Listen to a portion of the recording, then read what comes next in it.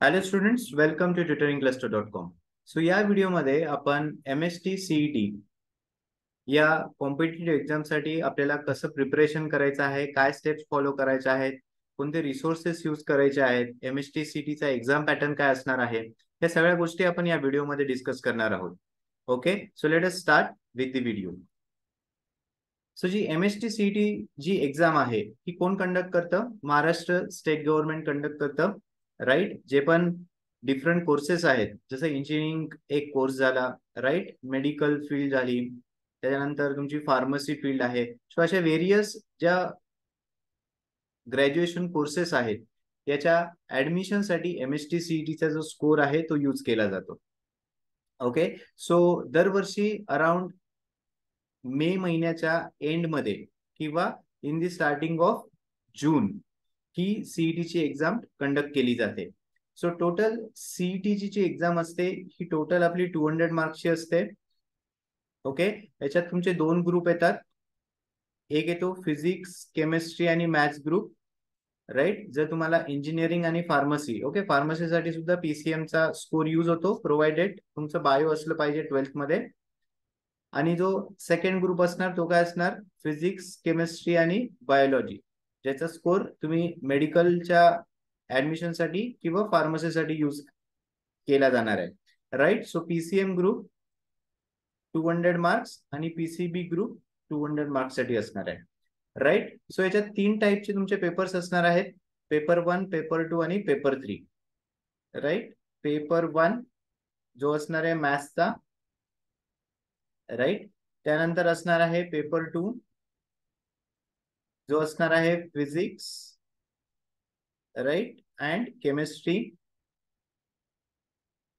आणि paper three जो असणार आहे कोणता सब्जेक्ट उरलाय? बायोलॉजी सो असे तीन टाईपचे पेपर्स असणार आहेत ओके किती मार्क्ससाठी असणार आहे? मॅथ्स हंड्रेड मार्क्स बरोबर आहे? Physics fifty chemistry fifty marks so total हे किती झाले? हंड्रेड मार्क्स आणि बायोलॉजी हंड्रेड मार्क्स. राईट आता बऱ्याच जणांना कन्फ्युजन असेल की ही जी सीईटीची एक्झाम आहे ही जर ट्वेल्थ नंतर कंडक्ट होते तर याच्यासाठी फक्त ट्वेल्थचाच सिलेबस आहे का? त्याचा आन्सर आहे नाही. ओके सो तुमची जी एक्झाम असणार आहे सीईटीची एक्झाम ही तुमची eleven as well as twelfth दोन्ही स्टँडर्डचा काय असणार आहे? सिलेबस असणार आहे.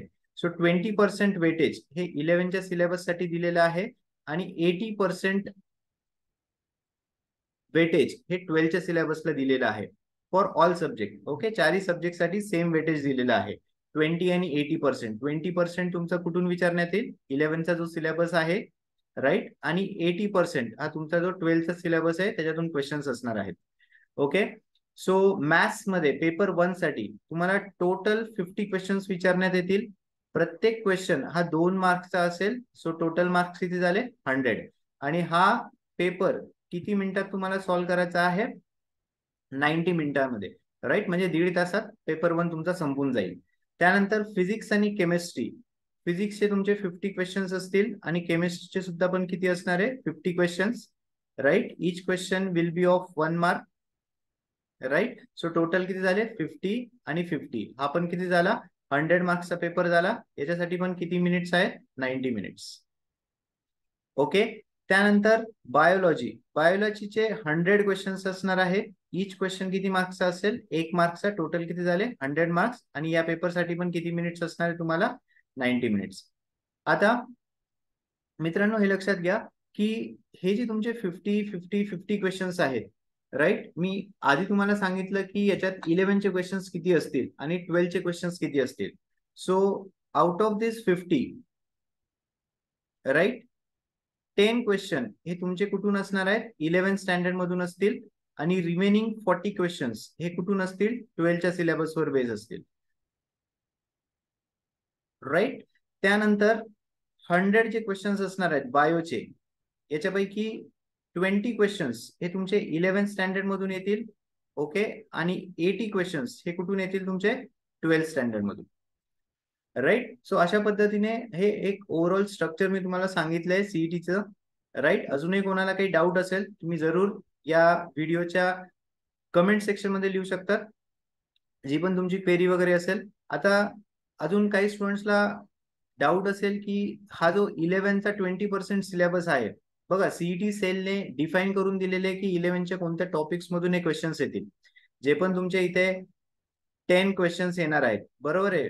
मॅथ्स फिजिक्स आणि केमिस्ट्री हे जे फिफ्टी फिफ्टी आहे याच्यापैकी दहा क्वेश्चन्स तुमचे इलेव्हनचे फोर्टी क्वेश्चन्स कसले? ट्वेल्थचे सो हे दहा क्वेश्चन्स कुठून येतील? कोणत्या टॉपिक मधून येतील? हे सुद्धा सीईटी सेलने डिफाईन करून दिलेले आहे. राईट की इलेव्हनचे कोणत्या टॉपिक्स मधून तुम्हाला सीईटीचे क्वेश्चन्स येतील. आणि बाकी ट्वेल्थचा तुम्हाला कंप्लीट सिलेबस प्रिपेअर करावा लागणार आहे. राईट सो हे तुमचं एक ओव्हरऑल स्ट्रक्चर आहे सीईटीचं आता मित्रांनो लक्षात घ्या की तुम्हाला सीईटी साठी कशा पद्धतीने प्रिपेअर करायचं आहे? How to prepare right so सगळ्याची फर्स्ट स्टेप आहे.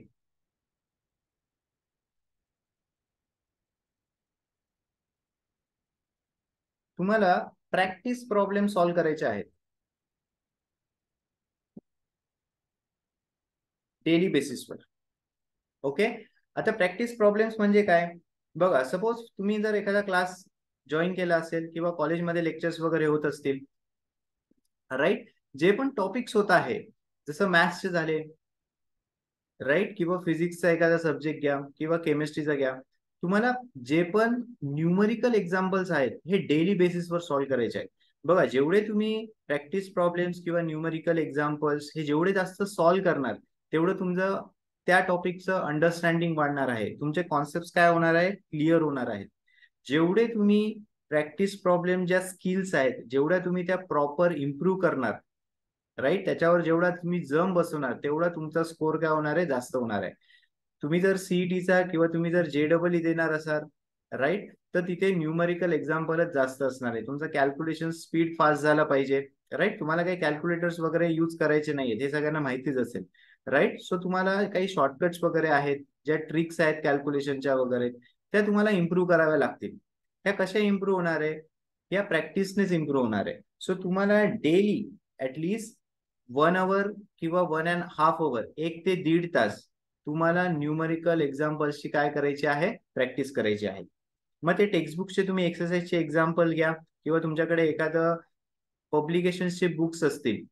राईट बघा आता पब्लिकेशन व्हेरियस मार्केट्समध्ये अवेलेबल आहे. तुम्ही एक एम टी जी पब्लिकेशन आहे ते एक चांगलं आहे. ते तुम्ही रेफर करू शकतात. राईट किंवा तुम्ही अरियंत पब्लिकेशन हे सुद्धा बुक काय करू शकतात? रेफर करू शकतात. Okay but daily one hour किंवा one and half hour daily तुम्हाला एक्झाम्पल्स न्यूमरिकल्स काय करायचे आहेत? सॉल्व्ह करायचे आहे राईट ओके पहिली स्टेप तुम्हाला कळाली असणार. सेकंड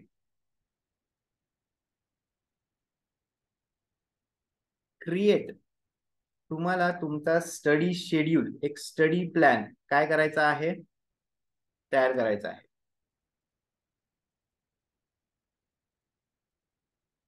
राईट तुम्हाला तुमचा जो पण अभ्यास असणार आहे दिवसाचा तो तुम्हाला प्लॅन करावा लागेल. असं रॅन्डमली नाही की आज मॅथ्स घेतलं चला आज बोर झालं मग दुसऱ्या दिवशी बायोलॉजी घेतलं मग मध्येच केमिस्ट्री घेतलं.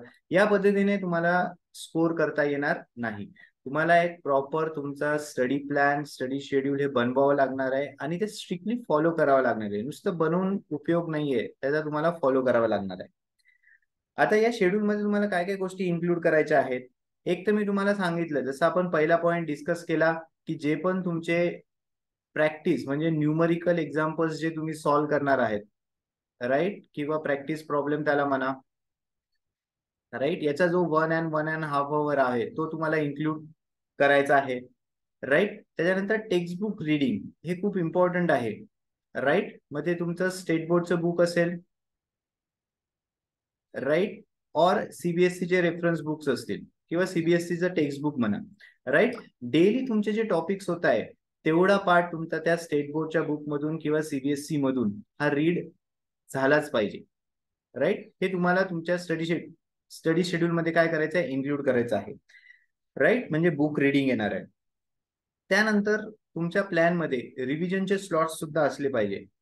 राईट? जे पण वीक वीक टू वीक किंवा मन टू मन जेवढे पण टॉपिक्स होणार आहेत त्याची रिव्हिजन सुद्धा झाली पाहिजे. अदरवाईज काय होणार? पुढचा पुढचा सिलेबस क्लासमध्ये किंवा कॉलेजमध्ये होत जाईल. ठीक आहे तुम्ही डेली ते शेड्यूल फॉलो करताय पण हा रिव्हिजनचा स्लॉट नसेल तर तुम्हाला ते पुढे काय जाणार आहे? जड जाणार आहे. सो बेटर तुम्ही आत्ताच तुमच्या शेड्यूलमध्ये तुमच्या प्लॅनिंगमध्ये रिव्हिजनचे काही स्लॉट्स टाका. तुम्ही सॅटरडे किंवा संडेचा एक दोन ते तीन तास कंप्लीट त्या वीकमध्ये जेवढा पाठ झाला आहे तो तुम्ही रिवाइज करू शकतात. तुम्हाला रिव्हिजनचा स्लॉट तुमच्या स्टडी शेड्यूलमध्ये टाकावा लागणार आहे. राईट आणि सगळ्यात इम्पॉर्टंट तुम्हाला हा तुमचा प्लॅन स्ट्रिक्टली काय करायचा आहे? फॉलो करायचा आहे. तुम्हाला कन्सिस्टन्सी दाखवायची आहे. राईट सो होप हा पॉईंट सगळ्यांना क्लिअर असेल. Next attempt mock test okay जर तुम्ही एखादा क्लास वगैरे जॉईन केला असेल मेक शुअर की तिथे रेग्युलरली तुमच्या टेस्ट होत आहे होत नसतील तर त्यांना सांगा की सर आमच्या या संडेला टेस्ट नाही झाली प्रत्येक संडेला आमची ऍटलिस्ट वीक मधून तुमच्या दोन सब्जेक्टच्या तरी टेस्ट या दिल्या गेल्या पाहिजे. राईट सो तुम्हाला मॉक टेस्ट जर एखादा तुम्ही ऑनलाईन मॉक टेस्ट वगैरे असतील त्या तुम्ही स्टडी करू शकतात त्या तुम्ही सॉल्व्ह करू शकतात. अदरवाईज कॉलेजमध्ये जर होत नसतील तर एक रेफरन्स बुक घ्या जिथे टॉपिक वाईज एखादे क्वेश्चन्स किंवा मॉक टेस्ट दिलेले असतील त्या तुम्हाला सॉल्व्ह कराव्या लागतील. क्लासेस जर जॉईन केलेले असतील मेक शुअर प्रत्येक वीकमध्ये मॉक टेस्ट होत आहे आता या का करायच्या आहेत? की जो पण तुमचे रिअल एक्झाम एन्व्हायरमेंट आहे राईट याच्याशी तुम्हाला फॅमिलराईज व्हायचं आहे. राईट म्हणजे ऍक्च्युअल जेव्हा तुम्ही एखाद्या एक्झाम हॉलमध्ये जाणार तर तिथे तुम्हाला काही फिअर वगैरे नको आहे राईट तिथे तुम्ही बिंदास एकदम जो पण क्वेश्चन येईल ज्या पद्धतीने क्वेश्चन येईल अवघड असेल सोपा असेल आपल्याला आता माहिती नाहीये की पुढचा सीईटीचा पेपर हा सोपा येणार आहे की मीडियम लेवलचा येणार आहे का डिफिकल्टी लेवलचा येणार आहे. बट तुम्ही त्याच्यासाठी प्रिपरेशन आतापासूनच करायचं आहे राईट जो पण तुमचा एक्झाम फॉर्मॅट असेल त्याच्याशी तुम्ही फॅमिलर होणार. राईट मोस्ट इम्पॉर्टंट तुम्हाला टाइम मॅनेजमेंटच्या स्किल्स तुम्ही जर या मॉक टेस्ट रेग्युलरली दिल्या ओके स्किप करू नका मॉक टेस्ट मार्क्स कमी आले स्टार्टिंगला तरी चालतील. बट मॉक टेस्ट तुम्हाला या रेग्युलरली द्यायच्या आहेत. राईट म्हणजे तुमचे जे टाइम मॅनेजमेंटच्या स्किल्स आहेत त्या पण सुद्धा काय होतील? इम्प्रूव्ह होतील. आणि मोस्ट इम्पॉर्टंट तुम्हाला तुमचे जे पण एरियाज ऑफ इम्प्रुव्हमेंट आहे की मला कुठे कोणत्या गोष्टी की मी टाइम युटिलाइज करू शकत नाहीये प्रॉपर की हा माझा टॉपिक वीक राहिलेला आहे. राईट या गोष्टी तुम्हाला मॉक टेस्टनेच कळतील. राईट जरी तुम्ही स्टडी शेड्यूल स्टडी प्लॅन वगैरे फॉलो केल्या स्टेप नंबर टू तुम्ही जरी फॉलो केली बट जर तुम्ही मॉक टेस्ट स्किप केल्या तर राईट याच्याने खूप मोठं नुकसान होणार आहे. सो तुम्हाला मॉक टेस्ट त्या कंपल्सरी अटेम्प्ट करायच्याच आहे द्यायच्याच आहे right next fourth very important analyse your performance okay तुम्ही मॉक टेस्ट देत आहात. राईट बट त्या मॉक टेस्टमध्ये तुमचा स्कोर कसा येतोय? राईट या गोष्टी अनालाइज करणं खूप गरजेचं आहे. राईट जेव्हा तुम्ही मॉक टेस्ट अनालाइज करणार तुम्हाला तुमच्या स्ट्रेंथ कळणार आहेत आणि तुमचे विकनेसेस कळणार आहेत. की सपोज मॅथ्समध्ये एखादा टॉपिक आहे कॅल्क्युलसचा पार्ट आहे किंवा डेरिव्हेटिव्हचा पार्ट आहे. लेट्स येतो तो थोडा वीक वाटतोय. Right you can focus starting पासूनच तुम्ही जर मॉक टेस्ट आणि त्याचा अनालिसिस करत गेलात तर जे पण तुमचे विकनेसेस आहेत त्याचा तुम्हाला इनफ टाइम भेटणार आहे. You can improve you can work on it right आणि सगळ्यात महत्वाचं की या ज्या मॉक टेस्ट आहेत हे जेव्हा तुम्ही अनालाइज करणार आहेत तर जे पण तुमचे वीक पॉइंट्स असतील ते तुम्ही स्टडी प्लॅनमध्ये इन्क्लूड करा. ओके जसं फॉर एक्झाम्पल जर केमिस्ट्रीच्या रिॲक्शन्सला काही प्रॉब्लेम असतील किंवा बायोलॉजीच्या काही डायग्राम्स प्रॉपर समजत नसतील किंवा डायग्राम्सला इश्यू येत असेल नेमिंग वगैरे नॉमन क्लेचर वगैरे तुम्ही विसरत असणार तर थोडा तुमच्या त्या स्टडी प्लॅनमध्ये तुम्ही तो थोडा टाइम काय करू शकता? अलॉट करू शकता. राईट म्हणजे तुमचा जो स्टडी प्लॅन होणार आहे तो टार्गेटेड स्टडी प्लॅन असेल. तो काही रॅन्डमली नसणार आहे. बघा स्टडी प्लॅन एकदा क्रिएट झाला राईट तो तुम्ही फॉलो करतायत. मॉक टेस्ट तुम्ही देतायत. या मॉक टेस्ट अनालाइज केल्यानंतर तुम्हाला जर तुमच्या स्टडी प्लॅनमध्ये काही इम्प्रुव्हमेंट्स करायचे असतील काही चेंजेस करायचे असतील सो तुम्हाला ते करायचं आहे. Right and last but not most important right take expert advice बघा एम एस टी सीईटी काय तुम्ही काय तुम्ही फर्स्ट टाइम देणार आहात. बरोबर आहे? राईट असं होऊ शकतं की मे बी त्या सीईटी बद्दल एखादे पॉइंट तुम्हाला काही माहिती नसतील. राईट किंवा ट्वेल्थ तुम्ही फर्स्ट टाइम स्टडी करत आहात. असं पण होऊ शकतं की एखादा टॉपिक तुम्हाला अवघड जात असेल तर तो सोपा कसा करायचा आहे? राईट किंवा मॉक टेस्ट तुम्ही देत आहात. अभ्यास रेग्युलरली करत आहात स्टील तुम्हाला मॉक टेस्टमध्ये पाहिजे तसे मार्क्स भेटत नाहीयेत. मग तुमचं काय चुकतं आहे हे जर तुम्हाला कळत नसेल राईट बेटर तुम्ही तुमच्या टीचरशी कन्सर्न करा किंवा तुमचा जर एखादा मेंटर वगैरे असेल त्याच्याशी तुम्ही डिस्कस करा राईट बघा मित्र किंवा मैत्रिणी यांच्याशी डिस्कस करून मे बी सोल्युशन भेटू शकतं असं मी म्हणत नाही की सोल्युशन भेटणार नाही. बट ज्याला थोडा एक्सपिरियन्स आहे. तुमचे सिनियर्स वगैरे असतील जे ऑलरेडी चांगल्या इंजिनिअरिंग कॉलेजेसला त्यांनी ऍडमिशन घेतलेलं आहे डिस्कस विथ दॅम किंवा तुमच्या टीचर्सशी कॉलेजचे टीचर्स असतील किंवा क्लासचे टीचर्स असतील जाऊन एकदा त्यांना भेटा. बघा जोपर्यंत तुम्ही भेटणार नाही तोपर्यंत त्यांना पण तुमचे प्रॉब्लेम कळणार नाहीत राईट आणि ते पण त्यांचं शिकवण्याचं काम आहे ते करत राहतील. बरोबर याच्यात नुकसान कोणाचं होणार आहे? तुमचंच नुकसान होणार आहे. सो या गोष्टी तुम्हाला अवॉइड करायच्या आहे जे पण तुमचा मेंटर असेल टीचर राईट किंवा सिनियर यांच्याशी तुम्ही ते डिस्कस करा. बघा मित्रमैत्रिणींशी परत मी सांगतो तुम्ही डिस्कस करू शकतात. राईट? मे बी तुम्हाला त्याचं सोल्युशन सुद्धा भेटू शकेल. बट सोल्युशन भेटत नसेल so you go to other person right? But त्याला वेळ म्हणजे ते पेंडिंग ठेवू नका. जर तुम्हाला काही डिफिकल्टी वगैरे असेल अजून भरपूर वेळ आहे. राईट? आपलं target twenty twenty five JEE CET आहे. सो तोपर्यंत तुम्हाला भरपूर वेळ असणार आहे. तुम्ही जे पण तुमचे सिनियर्स टीचर्स मेंटर यांच्याशी डिस्कस करा त्याचं सोल्युशन तुम्हाला भेटेल. ते तुम्ही तुमच्या स्टडी प्लॅनमध्ये इन्क्लूड करू शकता.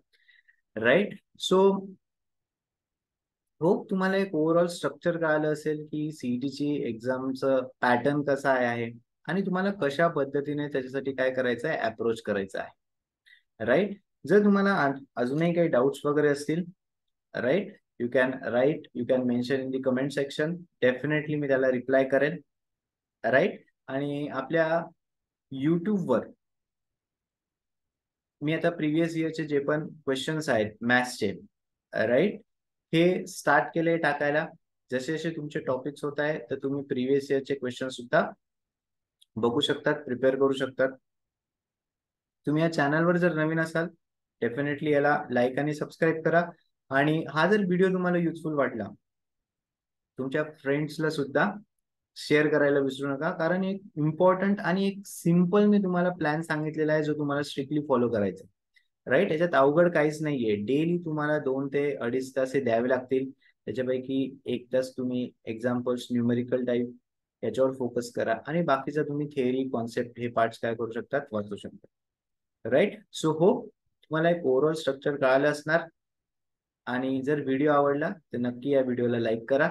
Thank you thank you very much